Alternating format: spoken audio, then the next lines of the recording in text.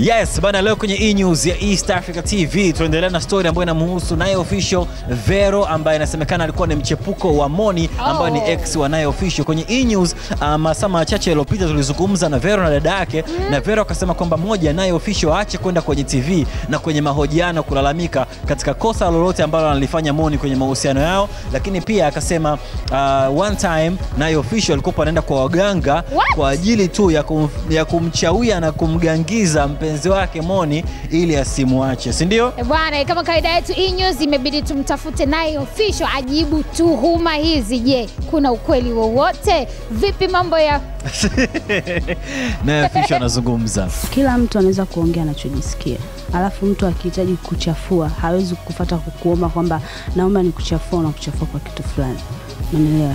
Kwa hiyo mtu wenye matunda siku zote upigwa mawe. Kwa hiyo mimi I don't care mtu ananisema wewe unanisema kwamba nimefanya nini, lakini muhimu maisha yangu yanaendelea na ha- hivyo unavyo vinavyoongeleka kwamba sio vya kweli, by the way. Mara ngapi tuma kama hizi unahusishwa nazo au unazisikia na unajaribu kuzikwepa? Mm, hazijatokea mara nyingi, niliwahi kusikia mara moja tu, lakini kwa mtu ambaye alikuwa anajaribu kunichafua kwa sababu ya chuki zake na vitu kama hivyo, lakini hivyo Kwa mujibu wa Vero na dada yake, wanasema pengine kulikuwa kuna dada au msichana ambaye ulikuwa unaishi naye zamani na yeye alishendaga kulalamika kwamba unamloga. Ikoje? ni kweli alienda kulalamika kwenye ITV nakumbuka, lakini hata ukimwangalia yule msichana akili zake sizani kama iko timamu. You understand eh? Kwa sababu kaongea vitu vingi. Kwanza yeye cha kwanza anaamini ushirikina. Umenielewa? Mimi siamini ushirikina. Cha kwanza anaamini ushirikina. Kwa hiyo mtu anayeamini ushirikina na mtu ambaye haamini, hapo tayari jibu unalo, hiki ni ushirikina.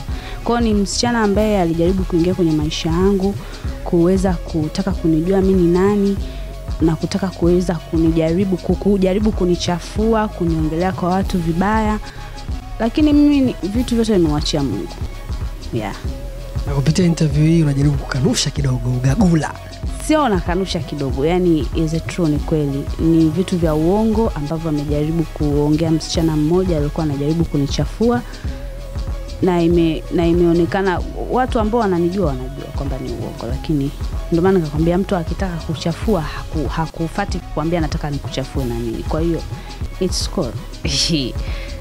si, si, ni neno tu ambalo na, napenda kulitumia majirani, kwema kwema huko majirani hivyo mm.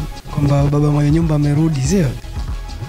No, ni, ni, ni ile neno ni, ni kawaida kulitumia. Hata naweza nikakuuliza jirani, kwema, ulipotoka kwema, ni kawaida. Kwa hiyo sijamaanisha hivyo vitu. Sawa, wengine labda wameona labda kauli hiyo kama ulikuwa unatamba hivi baada ya kurudisha mahusiano wako na Moni, kwa hiyo ndo kujiamini kwenyewe huko.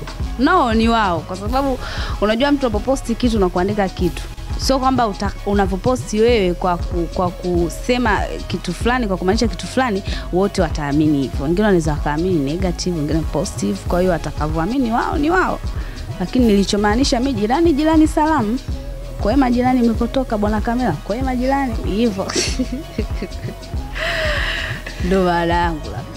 Sawa, lako la mwisho tukuache kwenye upodozi ukiwa unaendelea na si una mtoko wa wapi mama yetu. Unapenda kutuambia nini East Africa TV E News? Tunakupenda sana. Jamani, napenda kusema East Africa, nawapenda nawapenda nawapenda sana, nawapenda watu wangu wote wanaonisupport. mademu walisema kwa nanuka kimang'ati hotpot bwirumi msoso kimanati dhahabu toka downtown sile takitoka jasho mtoto kiume na usile chemsha bongo kama nigaje na big wile sogopi kolotochi kisamshale na upinde